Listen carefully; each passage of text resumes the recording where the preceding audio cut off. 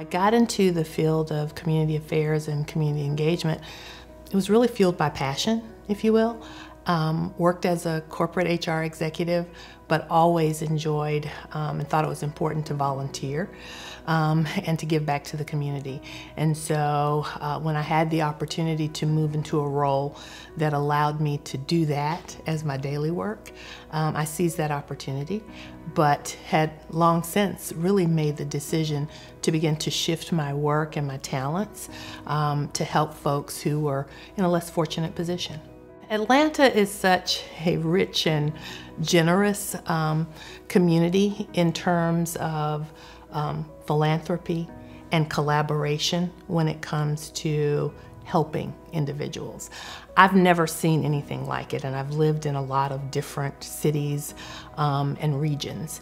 And so the way that we come together, um, the generosity that people um, really put forward in terms of their time, their resources, their talents, not only has shaped me but fueled me.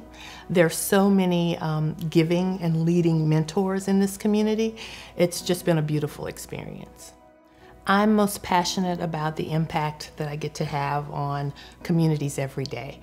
I think it's rare that each and every day, no matter how long the day, no matter how difficult the day, that you can walk away and know that you've done something to help someone, even if I don't know it. And so that is really um, something that I'm passionate about and really enjoy about the work that I do.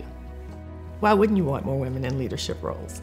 Um, know, I think I've been fortunate that uh, I was raised and surrounded by a lot of amazing, amazing women.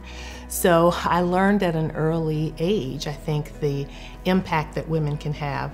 Women bring, I think, women bring a different lens, perspective, and sensitivity to every problem, every situation, every solution. Um, and I think there's great value there. So, in terms of leadership, it's an opportunity to have that perspective. And, and women change the narrative in every situation in a good way, in a positive way. Seize every opportunity. Uh, no matter how much it pays, no matter how little it pays, um, take advantage of those who see something in you that perhaps you may not see in yourself. Um, that has been something that I wish I had done more of in the early years of my career. And so I would say, again, say yes more and uh, surround yourself with strong mentors and seize every opportunity.